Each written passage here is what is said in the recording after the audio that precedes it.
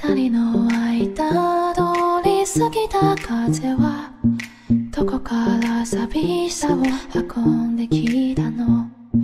泣いたりしたその後の空はやけに透き通っていたりしたんだ。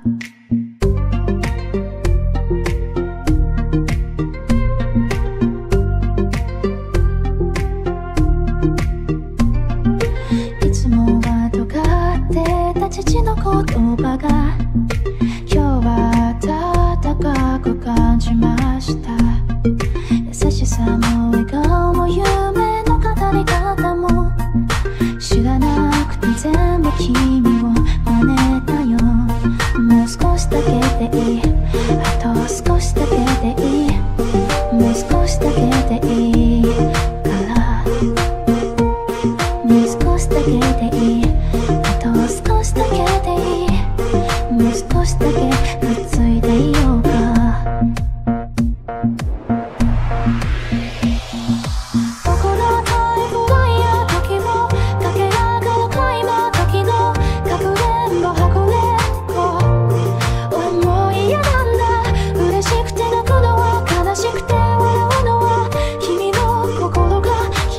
い越したんだよ。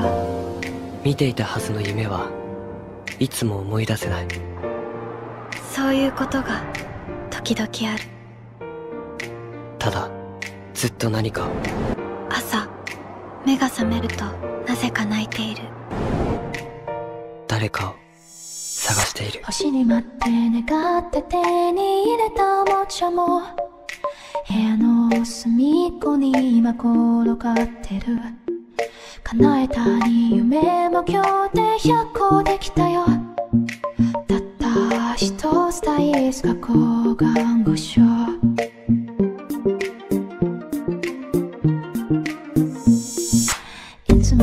喋らない。あの子に今日は。放課後また明日。